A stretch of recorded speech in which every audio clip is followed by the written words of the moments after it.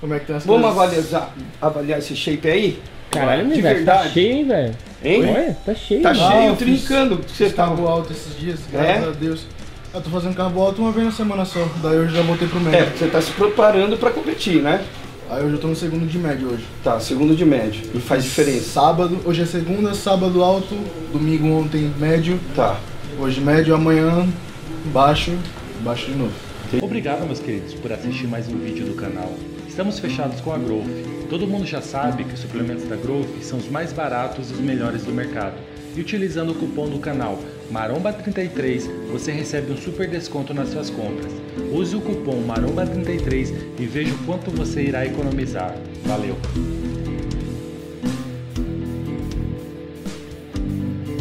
Gravando. Então vamos começar com o quarto de volta. Então, atletas perfilados de frente para os árbitros.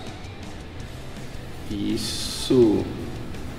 Muito boa essa postura. Muito boa. Isso, ó. Você pode fazer força com as pernas estendendo os joelhos também. E você pode fazer força com as pernas para fora, ó. Isso. Força para fora eu prefiro, a sua perna fica maior.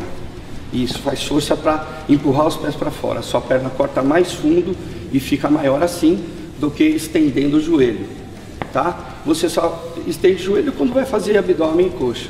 Mas ó, força para fora, sua perna aumenta de tamanho, tá bom? Ó, faz força para fora. O pessoal deve ter percebido aí o que aconteceu com a sua perna na hora que você fez força para fora.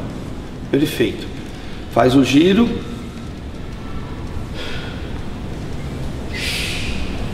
Isso. Ó, o antebraço que está atrás, ele pode ficar um pouquinho mais flexionado. Isso, ó. Assim você mantém a linha do seu tronco, fica mais bonito. Perfeito. Girou de costas.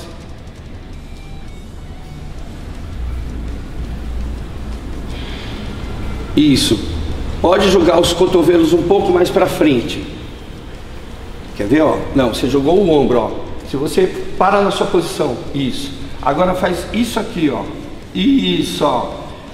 Nossa, que maravilha! Olha que expansão que você ganhou só com esse cotovelo um pouquinho mais para fora. Deu mais expansão pro seu dorsal. Faz o giro agora, outro lado.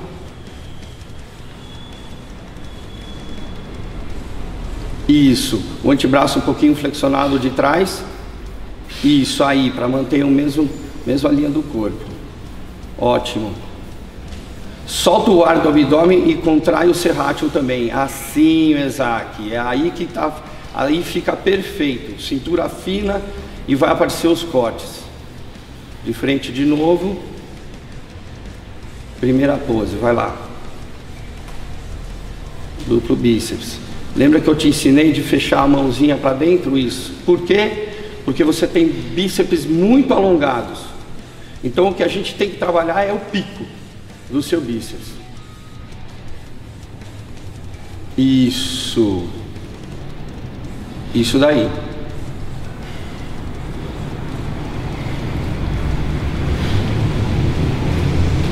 Mesma coisa, me traz o cotovelo um pouco. Não, você botou o ombro, ó. Faz a pose, ó. Agora eu vou te dar a dica, a mesma dica. Aqui você faz isso aqui, ó. Isso. Fechou mais, entendeu? Ficou mais, mais V e mais fechado. Puxou, pum, um pouquinho para frente. Só isso, só botar o cotovelo um pouquinho para frente que você enche muito mais. Olha isso, aí perfeito, ó. Simétrico, proporcional. Isso é que eu gosto.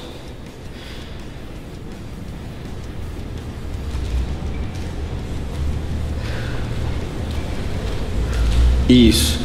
Faz isso aqui, ó. Peito para cima. Pode pôr um pouquinho. Aí, Mesaque. Isso. Encheu o seu peitoral agora. É isso mesmo. Viu, ó? Estilo Arnold mesmo. Você tem um físico muito clássico. Entendeu? Estilo, o estilo os atletas do passado. Então tem que posar como eles, porque vai vai dar mais evidência no seu corpo.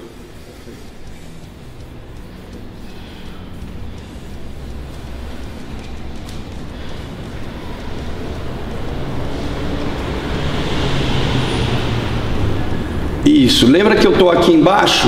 Dá uma inclinadinha para trás. Isso. E a perna que está atrás faz força para fechar para dentro. Isso, para cortar mais o femoral. É isso aí. Tem que levantar um pouquinho a cabeça também, não tem? É, não, isso, para ficar alinhado Aí. com o corpo, isso mesmo. É que o cabelão dele atrap... destoa um pouco, então não, não dá para ver às vezes. Isso mesmo, boa. Expandiu o cotovelo para frente, isso. E faz uma concha no dorsal. Contrai o abdômen. É, isso! Aí é teu máximo. Perfeito. Nossa, esses paravertebrais são imensos. Meu Deus. Me lembrou Paulo Lima agora, quando eu competia com ele. Isso, agora você estende o joelho e põe o, põe o calcanhar assim para frente, ó. Isso. E aí você pode girar a perna assim para mostrar ela fibrando. Na hora vai estar tudo fibrando. Perfeito. Isso você pode fazer o vácuo também quando você quiser. Você tem um bom, um bom vácuo. Muito bem. Me dá um feedback de É. tipo, qual perna melhor encaixar? Eu tenho dúvida em qual encaixar, se é direita Eu ou acho que a esquerda. perna direita é melhor do que a esquerda. Faz de novo para mim. É, eu acho que a sua direita ela tem uma, uma linha um pouquinho melhor, ela vai cortar melhor. Faz ela, isso. Agora faz a mesma coisa com a direita.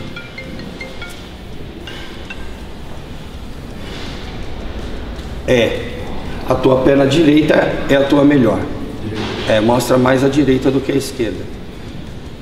Ela é mais proporcional, corta, ela vai ficar melhor no palco. No dia, quando tiver desidratado, a gente pode confirmar isso. Pode me lembrar e perguntar que a gente confirma isso no dia. Vou fazer de tudo para estar lá também. Isso, essa pose está perfeita. Quando você posa desse jeito, você tem que mostrar o tronco e puxar o dorsal aqui, do, je, do jeitinho que você fez. Você traz o cotovelo um pouco para cá, porque daí o dorsal vem. Tem uma outra pose que eu também sei que vai ficar boa para você, que é, é a pose do cavalo, do horsepower. Isso! Isso daí, essa pose é boa para você também. Pode treinar ela que essa pose te encaixa muito bem. E agora pensando em alguns detalhes, o que, que eu vejo que vai ficar mais, é, mais proporcional? Porque você tem uma boa simetria. Um lado seu é, é bem simétrico com o outro. É, também tu- o teu X é muito bom, tá? O X está bem equivalente. Ou seja, a distância dos- da sua cintura para as pernas e a distância da cintura para a cabeça é igual. Então isso é muita simetria, muito bom isso. O que a gente precisa ganhar um pouquinho mais de ombro medial, então dá ênfase no treino na parte medial do seu ombro para ele fazer mais curva para o lado, para ele se sobressair um pouco mais. Por quê? Porque teu braço é muito bom. Você tem braço e antebraço bons, então a gente precisa um pouquinho mais de ombro, um pouquinho mais de trapézio também. Por quê? Porque você tem tem trapézio? Tem, mas você quando fica de costas tem bastante dorsal. Então a gente precisa um pouquinho de trapézio, de fazer o encolhimento. Eu, eu vou te dar essas dicas aqui, se é que o Júlio já não te ensinou. Não quero chover no molhado, mas vou dar a dica do tiozão aqui, que a gente aprende ao longo do tempo, né? Isso não está escrito em livro nenhum. Tanto para o trapézio quanto para o medial, que eu estou vendo que precisa um pouquinho mais. E, e isso que tá para deixar você mais alinhado, só isso. O peitoral você já está fazendo um trampo para deixar. Você tem o peito muito grande, então para ele encher demora mais. Mas você está com quantos anos? 20? 20 anos, então não tem nem que se preocupar, entendeu? A maturidade e o volume que você precisa vai vir com o tempo. É um dia após o outro. Eu brinco que é assim, ó, bodybuilding é uma garfada após a outra. Se você não consegue comer, você não vai ser um bodybuilder nunca. O mais difícil é a alimentação. O treino, se você gosta de treinar, você vem e treina, faz o que tiver que fazer. Passa mal, vai até o limite, se supera. Mas o treino, quanto tempo do dia é? No máximo uma hora e meia. O resto do tempo inteirinho, você vai ser bodybuilder comendo. É uma garfada após a outra. Tá lá, pesou a comida, é isso que eu tenho que comer? Pum. Acabou de comer, venceu mais uma batalha. E no dia tem seis batalhas para vencer. Então essa é a grande diferença de um atleta do culturismo para os outros esportes. Nos outros esportes, quando ele sai do treino, a vida dele volta ao normal. Bodybuilding não, sai do treino tem que comer. Beleza? Deixa eu te mostrar aqui o que, que a gente pode fazer, que assim serve para ensinar vocês também. Para a gente melhorar essa parte medial aqui, ó, quando você for fazer a elevação lateral, você vai fazer com o polegar apontando para baixo. Isso, ó. Você vai levar para o lado, ó, e o teu polegar estando para baixo. Olha como eu tenho aqui, ó, o máximo de contração medial. Se eu fizer um pouquinho assim, ó, ó como diminui. Se eu fizer isso aqui, olha como aumenta e trabalha bem a porção medial. Então, ó, o polegar para baixo e o cotovelo alto na hora de fazer a elevação lateral. Isso vai te ajudar muito a aumentar essa parte aqui do teu ombro. Seu ombro não é pequeno, ele só precisa aumentar um pouco para acompanhar o braço e o peito. Entendeu? Um pouco mais, vamos brincar aqui, um pouco mais de cabeça nesse ombro vai fazer um bom efeito. Perfeito. Tá? O trapézio, você faz o encolhimento como? Mostra pra mim como você faz o encolhimento. Na verdade, eu não costumo treinar trapézio. Ah, porque você já tem trapézio, É, né? Eu treino ele, a ativação que ele vem é só no treino de ombro. Não, então nós vamos fazer o seguinte. Julião, permita aqui me intrometer. O Júlio é meu amigo, ele sabe que eu posso me intrometer. Três séries só. Três séries só de encolhimento no dia de treino de costas. Um estímulo. É um estímulo só por semana. Por quê? Porque eu tô vendo que o seu trapézio ele é bom, mas ele está precisando aumentar aqui, ó, um pouquinho aqui. Então, como você não estava treinando, é por isso que está faltando esse pouquinho aqui, para ficar mais alinhado com o ombro e o peitoral. Então, na hora de fazer encolhimento, tem duas formas de fazer encolhimento. Uma a gente coloca muito peso e vai fazer a elevação total aqui dos ombros, escápulas, tudo junto. Então tem que estar pesado. Agora, se eu colocar pouco peso, ó, eu posso só contrair o trapézio, ó. Ó, ó que movimento curtinho, ó. É curtinho, tenta fazer sem peso mesmo, ó, curtinho, contrai o trapézio, ó, sem levantar o ombro, ó. Contrai aqui, ó. Isso, você tá vendo como ele é curtinho? Faz esse. Não precisa de muito peso. 15 repetições, 3 séries. Daqui um mês a gente vai olhar o que vai acontecer com o seu trapézio. Tenho certeza que esse picozinho que eu estou querendo aqui já vai aparecer. Perfeito. Para ficar mais harmônico. No seu dorsal, não está faltando nada, tá? Ó, dorsal do mesaque, uma coisa para todo mundo entender. O grande dorsal está aqui. Aqui está o paravertebral. Aqui está redondo e romboides. Está todo desenvolvido, não está faltando nada. Com o tempo vai preencher mais aqui. Para preencher mais aqui são as remadas fechadas. Pode virar. Supinadas? É, as, você fazendo as pode ser pegada neutra. As remadas, quanto mais fechada e mais o cotovelo estiver próximo do corpo, mais você vai ativar essa parte de baixo do grande dorsal. É o que o Júlio vem fazendo. É, A cada dia ele vai fazendo estímulos hoje dorsal, já começando o treino com barra fixa neutra. Pegada perfeito. neutra. Pegada neutra, é isso mesmo. Vai te aumentar ainda mais. Aí o que, que nós esperamos? Que quando você vire de costas no campeonato, você seja imbatível. Tem vários vídeos rolando na internet falando sobre grande dorsal no Brasil. Mas não é só no Brasil.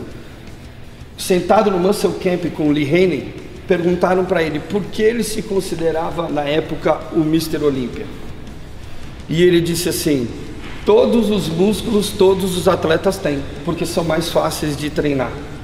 Mas o mais difícil é treinar as costas, os dorsais. E isso eu tenho de sobra, por isso eu sou Mr. Olímpia. Se você vai lá e assistir os filmes do Mr. Olímpia, você vai falar: é verdade. Ninguém tinha um dorsal igual do Lee na época dele. Aí você vai no Ronnie Coleman, quando fica de costas, ninguém, Ninguém tem bate. aquele dorsal monstruoso dele. Dory Yates, no campeonato. Por que, que ele ganhou, ganhou do Nasser, ganhou do Levrone? A hora- também. Exatamente. Então por que, que ele ganhou desses caras? Ele, na hora que ficava de costas, tinha um dorsal completo com todos os detalhes e volume. E isso aqui, esse garoto tem, tá? Então, para finalizar aqui, agradeço a oportunidade da Max de estar aqui ajudando. Agradeço também a você. Eu que me- agradeço. Me dar essa oportunidade de falar do seu shape, porque não tem nada mais importante na vida de um atleta do que o shape dele. Eu que agradeço. E de tanto tempo que eu acompanho, que eu acompanho o teu trabalho, de hoje estar tendo essas dicas é, é um privilégio, de verdade. Obrigado, obrigado. Estou aqui para somar, para ver os atletas chegarem onde querem, porque eu já fui atleta, eu sei o quanto é difícil. Obrigado, Isaac, obrigado, Max, obrigado, Cariane. Isso aí, tamo junto. Se inscreve, compartilha, deixa sua opinião aqui.